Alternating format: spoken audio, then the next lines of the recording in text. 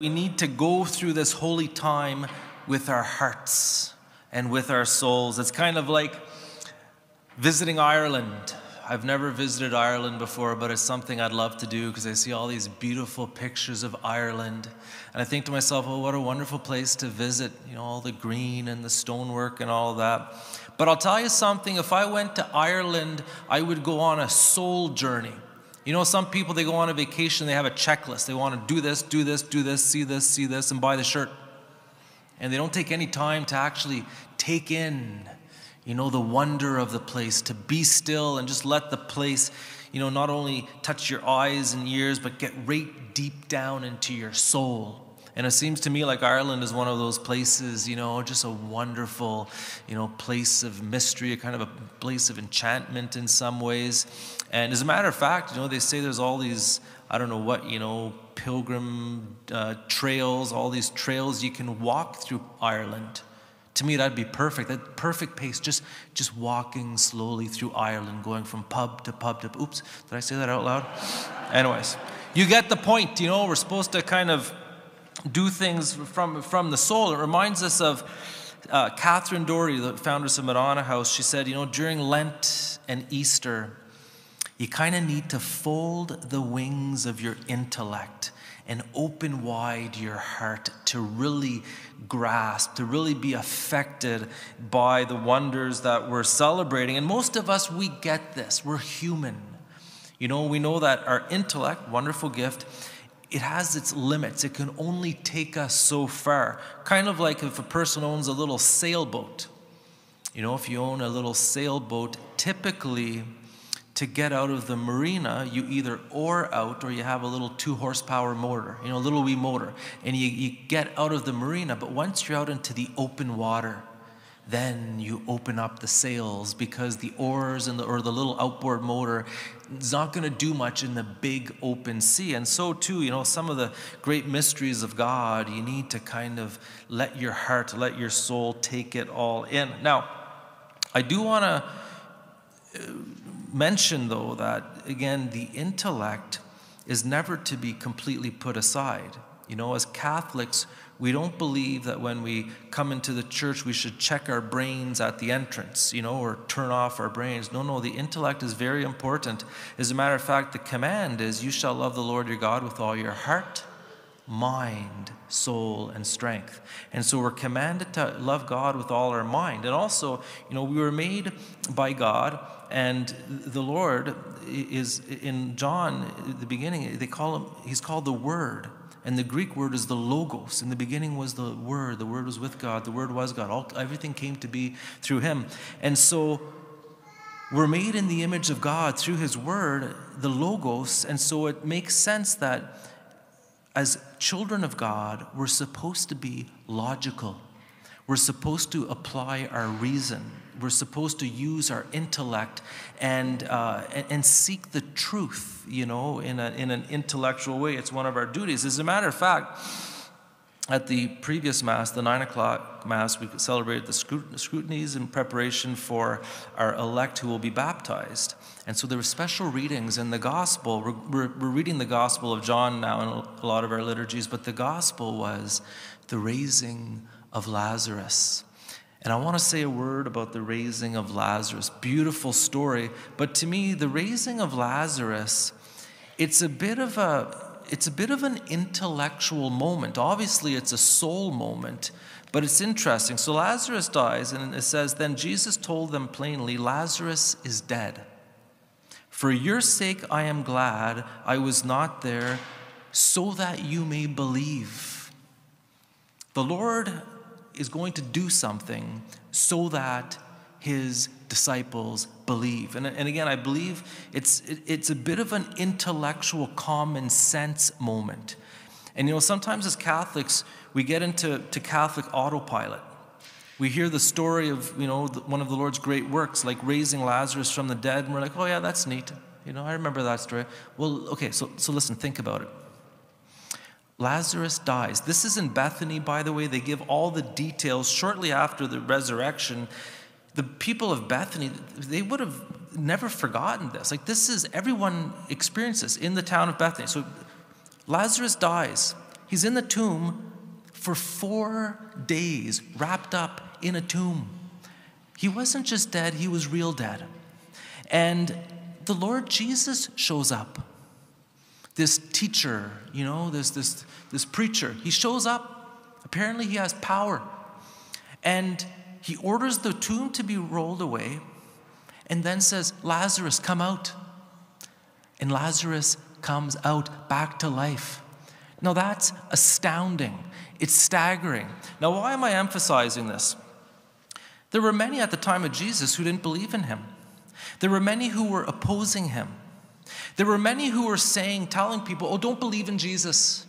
Don't believe what he's saying. You know, the Lord had, had a message repent, believe, forgive your enemies, love. You have a Father who loves you infinitely and has a place in heaven prepared for you. Believe in him, ask, and you will receive from him. Our Lord Jesus has this message, and people are saying, oh, don't believe him. So, again, the thinking, reasoning, reasoning intellectual person would say, well, wait a minute. Why should I believe you? You're telling me not to believe him. He just rose someone from the dead. He was in the tomb for four days. He gives blind people their sight back, deaf people hear, lame people walk, demons are cast out. He multiplies food, feeds thousands, walks on water and you're telling me not to believe him? Seriously? Why should I believe you? And again, our Lord Jesus, he makes this argument himself. In John chapter 5, our Lord Jesus says, I came in the name of my Father, but you do not accept me. Yet if another comes in his own name, you will accept him. You know, people, I believe my guru. My guru said he's got everything figured out. Well, why should we listen to your guru? Is he raising the dead? Is he giving sight to the blind? Some people say, oh, the experts. Experts are saying, you know, we shouldn't believe in God and heaven anymore. That's, that's passe. Well, who decided they're an expert? Why should we believe the so called experts? You know, or the latest pop psychologist has a new theory, you know, dismissing Christianity. In whose name are they coming? Like, why are we believing them? And I say this because I fell into this as a teenager. As a teenager, I thought all the, you know, the intellectuals or the people in the, in the media or the so-called experts, that they had all the answers.